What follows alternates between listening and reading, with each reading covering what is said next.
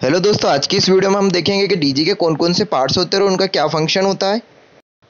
दोस्तों, इस वीडियो में हम लोग डीजी के टोटल 22 पार्ट्स के बारे में जानेंगे बेसिक इन्फॉर्मेशन और इसमें से जो इम्पोर्टेंट होगा, उसको डीप से डिस्कस हम लोग करेंगे। तो दोस्तों, मैं आपके, आज की इस वीडियो में बताने वाला हूँ कि इंटरव्यू में आपसे कौन कौन से पार्ट्स के बारे में पूछा जा सकता है। तो चलिए दोस्तों शो करते हैं आज की इस अमेजिंग वीडियो को। डीजी के डीजल फ्यूल को स्टोरेज करने के लिए हम लोगों को डीजल टैंक की आवश्यकता होती है जो हमारे डीजी की कैपेसिटी के हिसाब से हम लोग बनाते हैं।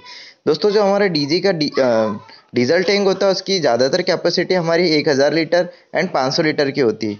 दोस्तों जो हम लोग डीजल को यूज़ करते हैं वो हमारा नॉर्मल डीजल नहीं होता। जो हमारे डीजल ट्रकों में यूज़ होता है वो नॉर्मली हमें सौ से एक सौ बीस रुपये लीटर मिल जाता है। पर जो हमें डीजी का डीजल होता है वो हमारा डेढ़ सौ से एक सौ अस्सी रुपये लीटर हम लोगों को मिलता है। तो उसके लिए हम लोग डीजल टैंक यूज़ करते हैं स्टोरेज के लिए। और डीसी का डीजल इसीलिए इतना महँगा होता है क्योंकि ये पॉल्यूशन कम क्रिएट करता है। दोस्तों, जो हमारा सेकेंड पॉइंट है, वो है फ्यूल वाटर सेपरेटर क्या होता है दोस्तों, कई जगह पर हमारा डीजी का जो फ्यूल टैंक है, वो आउटडोर में रखा होता है। जो हमारा डीजी भी होता है, वो हमारा आउटडोर में होता है। जिसके कारण क्या होता है कि हमारा जो फ्यूल है, उसके साथ में वाटर का मिक्स हो जाता है। जिसके कारण हमारा जो डीजी होता है, उसको चलने के लिए बहुत सारी प्रॉब्लम का का सामना करता, करना पड़ता है। या फिर ये जो वाटर हमारे इंजन में जाता है तो हमारे इंजन को भी नुकसान पहुंचाता है। तो इसके लिए हम लोग क्या करते हैं? फ्यूल वाटर सेपरेटर का इस्तेमाल करते हैं। मतलब जो हमारे फ्यूल के अंदर अगर वाटर अगर किसी भी कंटामिनेशन में आता है तो उसको सेपरेट करता है हमारा फ्यूल वाटर दोस्तों, हमारा थर्ड पॉइंट है fuel filter and oil filter कई बार क्या होता है दोस्तों, हमारा जो डीजल होता है, उसके अंदर कचरा होता है। एंड हमारा जो टैंक होता है, उसके अंदर भी कचरा होता है। तो दोस्तों, ये कचरा हमारे इंजन के अंदर ना जाए तो इसको रोकने के लिए हम लोग क्या यूज़ करते हैं? हमारा फ्यूल फ़िल्टर का हाँ यूज़ करते हैं। ठीक है दोस्तों? तो जो भी कचरा हमारे फ्यूल फ़िल्टर में जमा होता है, उस कचरे को हम लोग निकाल लेते हैं।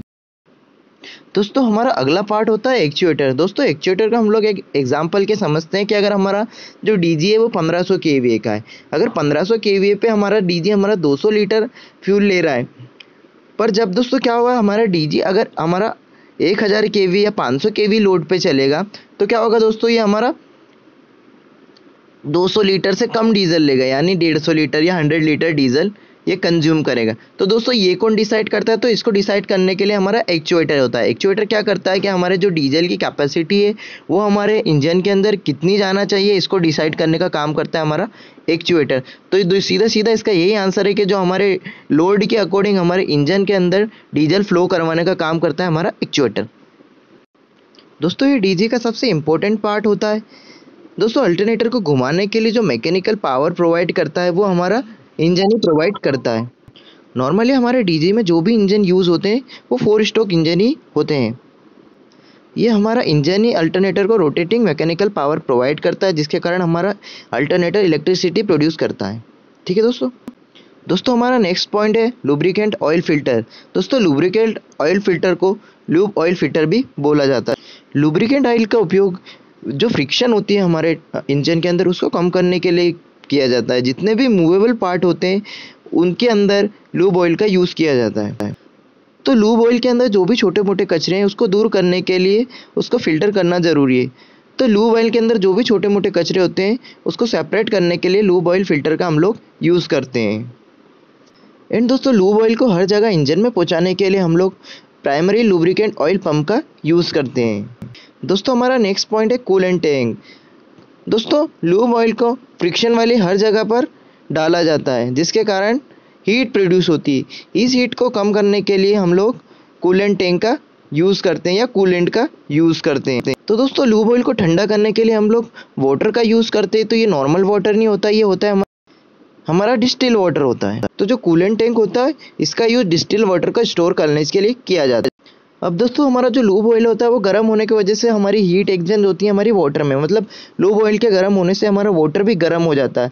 इस वाटर को हम लोगों को ठंडा करने के लिए रेडिएटर एंड फ़ैन की आवश्यकता होती है। तो इसके लिए हम रेडिएटर एंड फ़ैन हमारे डीजी में यूज़ करते हैं। हमारा इंजन चलता है तो वो भी काफ़ी गर्म हो जाता है। तो उसको ठंडा करने के लिए हम लोगों को जो हमारा फ़ैन है, उसकी आवश्यकता पड़ती है। दोस्तों, हमारा अगला पॉइंट है control panel and power cam दोस्तों कंट्रोल पैनल से हम लोग हमारे डीजी को ऑन ऑफ़ कर सकते हैं और कंट्रोल पैनल में एक डिस्प्ले होता है जिसकी सहायता से हम लोग हमारा डीजी कितना वोल्टेज जनरेट कर रहा है, कितने एम्पेयर लोड पे, कितनी फ्रीक्वेंसी एंड कितने आरपीएम पे काम कर रहा है। ये सारी डिटेल को हम लोग कंट्रोल पैनल में हमारी जो डिस्प्ले लगी होती है, उससे पूरी तरीके से देख सकते हैं। दोस्तों, हमारा नेक्स्ट पॉइंट है एयर फ़िल्टर दोस्तों, हमारे जो इंजन होता है, उसमें हमें फ्यूल एंड एयर का मिक्सचर देना होता है, जिसके कारण वो वर्क करता है। तो इस एयर को देने के लिए हम लोगों को फ़िल्टर करना होता है तो उसके लिए हम लोग एयर फ़िल्टर का यूज़ करते हैं। दोस्तों, हमारा अगला पॉइंट है टर्बो चार्जर इंटरव्यू में बहुत सारे क्वेश्चन हमारे टर्बो चार्जर से रिलेटेड किए जाते हैं दोस्तों। तो आपको हमेशा पता होना चाहिए कि टर्बो चार्जर क्या काम करता है।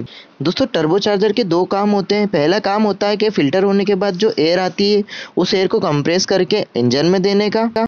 और इसका दूसरा काम होता है कि इंजन के अंदर जो कार्बन डाइऑक्साइड प्रोड्यूस होती है, इस कार्बन डाइऑक्साइड को बाहर निकालने का काम करता है टर्बो चार्जर दोस्तों टर्बो चार्जर के ऊपर पेंट इसलिए नहीं किया जाता क्योंकि जब ये चलता है तो बहुत ज़्यादा गर्म हो जाता दोस्तों, हमारा नेक्स्ट पॉइंट है साइलेंसर दोस्तों, जब हमारा डीजी चलता है तो दोस्तों, उस आवाज़ को कम करने के लिए हम लोग साइलेंसर का यूज़ करते हैं। एंड दोस्तों दूसरा जो हमारे इंजन से कार्बन डाइऑक्साइड गैस निकलती है, इस गेयर गैस को फ़िल्टर करके बाहर निकालने का काम भी हमारा साइलेंसर करता है। दोस्तों, हमारा नेक्स्ट पॉइंट है कपलिंग दोस्तों, हमारा जो इंजन का रोटर होता है और अल्टरनेटर का रोटर होता है, दोनों को साथ में मिलाने के लिए हम लोग जिस चीज़ का यूज़ करते हैं तो उसको हम लोग कपलिंग बोलते हैं दोस्तों। तो कपलिंग करने की वजह से दोस्तों, हमारा जो इंजन का रोटर जब घूमता है तो साथ में अल्टरनेटर का रोटर को भी घुमा देता है, जिसके कारण हमारी इलेक्ट्रिसिटी प्रोड्यूस होती है। नेक्स्ट पॉइंट है अल्टरनेटर दोस्तों अल्टरनेटर बहुत ही इंपॉर्टेंट होता है। ये हमारे इंटर में भी बहुत ज़्यादा पूछा जाता है। अल्टरनेटर के थ्रू इलेक्ट्रिसिटी का प्रोड्यूस किया जाता है। दोस्तों, जो हमारे डीजी के अंदर अल्टरनेटर का हम लोग यूज़ करते हैं, वो हमारा ब्रशलेस अल्टरनेटर होता है। इसमें स्टेटर एंड रोटर दो टाइप की वाइंडिंग होती है। दोस्तों, आपको अल्टरनेटर से रिलेटेड अगर कुछ एक्स्ट्रा जानकारी चाहिए तो आप मुझे कमेंट करके बता सकते हैं तो मैं आपके लिए एक फुल वीडियो बना दूँगा। दोस्तों, हमारा नेक्स्ट पॉइंट होता है A V R A V R का फुल फॉर्म होता है दोस्तों ऑटोमेटिक वोल्टेज रेगुलेटर दोस्तों, हमारा थ्री फेस का स्टैंडर्ड वोल्टेज 415 वोल्ट होता है। अगर हमारा डीजी किसी कारणवश 420 या 425 वोल्ट जनरेट करता है तो हमारा एवीआर क्या काम करता है कि उसको 415 वोल्ट में कन्वर्ट करके हम लोगों को 415 वोल्ट सप्लाई प्रोवाइड करता है। मतलब ये हमारे डीजी के आउटपुट वोल्टेज को कंट्रोल करने का काम करता है।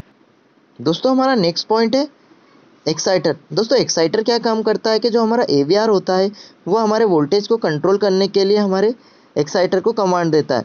जिसके कारण हमारा जो एक्साइटर होता है, वो हमारे वोल्टेज को अप एंड डाउन करता है। इसके कारण हमारी जो वोल्टेज है, वो स्टैंडर्ड वोल्टेज 415 वोल्ट पर आ जाती है। तो हमारा एक्साइटर क्या करता है कि हमारा एवीआर है, उससे कमांड लेकर वोल्टेज को कम ज़्यादा करने का काम करता है। दोस्तों, एक और महत्वपूर्ण भाग होता है रोटी रेक्टिफायर। दोस्तों रोटी रेक्टिफायर को मैं आपको किसी एक अन्य वीडियो में पूरे तरीके से समझाऊँगा। ये भी हमारी इलेक्ट्रिसिटी को प्रोड्यूस करने के लिए एक अहम पार्ट के रूप में अपना योगदान प्रोवाइड करता है। दोस्तों, हमारा नेक्स्ट पॉइंट है बैटरी दोस्तों, हमारे डीजी के अंदर 12-12 वोल्ट की दो बैटरीज का हम लोग यूज़ करते और इन दोनों बैटरी को ही हम लोग सीरीज़ में कनेक्ट करते हैं, जिससे हमें आउटपुट वोल्टेज 24 वोल्ट चाहिए होता है। ठीक है दोस्तों? तो बैटरी का यूज़ हम लोग क्या करते हैं? जो हमारा सेल्फ होता है, उसको चलाने के लिए करते हैं, ठीक है? दोस्तों, हमारा अगला पॉइंट होता है क्रैंक मोटर दोस्तों क्रैंक मोटर क्या होता है? दोस्तों, ये क्या करता है? जब हमारे डीजी मैनुअल या फिर बंद होता है तो उसको घुमाने के लिए हम लोग पहले रस्सी का यूज़ करते थे। पर दोस्तों क्रैंक मोटर की सहायता से हमारी जो डीजी का रोटर होता है, उसको घुमाते हैं हम लोग। तो इसके लिए जब हमारा डीजी नाइन्टी परसेंट हमारा फुल पकड़ लेता है फुल स्पीड पकड़ लेता है तो हमारी जो क्रैंक मोटर क्या होती है, वो ऑटोमेटिकली ऑफ़ हो जाती है। ठीक है दोस्तों? तो क्रैंक मोटर का हम लोग यूज़ करते हैं। दोस्तों, हमारा नेक्स्ट पॉइंट होता है गवर्नर गवर्नर क्या करता है दोस्तों? जब हमारी स्पीड कम होती है तो हमारी फ्रीक्वेंसी भी कम होती है एंड आरपीएम भी कम होते हैं। तो दोस्तों, इसको मैनेज करने के लिए हम लोग गवर्नर का यूज़ करते हैं, ताकि हमारी जो इंजन की फ्रीक्वेंसी है, वो पचास हर्ट्ज जो इंडिया की फ्रीक्वेंसी है, वो बनी रहे। तो उसके लिए हम लोग गवर्नर का यूज़ कर कर। दोस्तों, हमारा नेक्स्ट पॉइंट है फ्लाई व्हील दोस्तों फ्लाई व्हील को हम लोग रोटर पर कनेक्ट करते हैं तो हमारा रोटर 1500 आरपीएम पर घूमता है तो जो हमारा रोटर का स्पीड में अगर कोई वेरिएशन आता है तो हमारा फ्लाई व्हील क्या काम करता है कि उसको बराबर उसके जो आरपीएम है, उस पर घुमाने का काम करता है। दोस्तों, हम लोग लास्ट पॉइंट देख लेते हैं। हमारा लास्ट पॉइंट है दोस्तों सर्किट ब्रेकर दोस्तों, हमारे डीजी के अंदर जो वोल्टेज एंड करंट होता है, इसमें वेरियस टाइप के सेफ्टी डिवाइसेस लगाने के लिए हमारा सर्किट ब्रेकर एंड उसका जो पैनल होता है, वो हम लोग यूज़ करते हैं। एंड जो डीजी की सप्लाई है, उसको हमें जो सेकेंडरी सोर्स में प्रोवाइड करने के लिए, हमें ऑन ऑफ़ करने के लिए हमारा जो सर्किट ब्रेकर है, उसकी आवश्यकता पड़ती है। तो इसके लिए हम लोग एसीबी का यूज़ करते हैं। ठीक है दोस्तों? होप दोस्तों आपको हमारी वीडियो पसंद आई होगी। इसी तरीके की वीडियो के लिए आप हमारे चैनल को सब्सक्राइब कर सकते हैं शेयर कर सकते हैं लाइक कर सकते